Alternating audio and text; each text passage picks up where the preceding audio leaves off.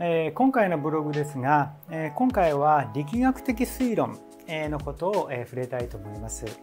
えーと、例えば動作分析や力学の講座、え、たくさん、え、この業界にはセミナーあると思いますが、え、実際に、え、患者さんに、え、毎日、え、力学で、え、患者さんの治療をして、え、良好な結果を出しているセラピストはそれほど多くないと思います。例えば患者さんの治療をする時に、えー、理屈通りに説明して動作分析から原因を見つけて変えれるセラピストがどれだけいるかということですね。若いセラピストなんか気をつけてほしいのは動作分析なんかのセミナーで、えー、健常人の動きを変えたりっていうことはありますけど健常人の動きはこれ気をつけてほしいのは何やっても変わります。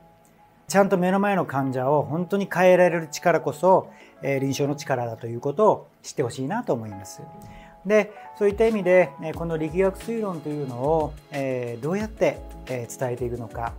えすごい真剣に考えてきましたが、まあ、この何年間か、まあ、力学的推論の過程を網羅できるのかっていうのを考えてきて我々が作ったロードマップがありますので皆さんに紹介したいと思いますそして、まあ、今後このロードマップに沿って我々弟子も私も一緒に成長しながら多くの人に伝えるにはどうしたらいいのかということをこれから真剣に考えていきたいって本当にそう思っているんです。で園部俊治の臨床力学的推論というシリーズを作ってますので、まあ、興味のある方は是非ご覧になっていただければ、えー、我々の本気度分かっていただけると思いますよ。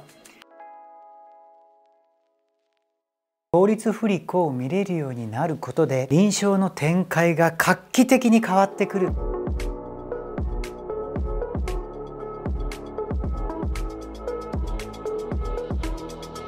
おそらく皆さんがこれまで学んできた動作分析はただの実況中継だと思うんです。筋活動の原則体幹アライメントの原則動作分析の原則これらの原則を理解することで皆さんの臨床力は加速的に上がっていく。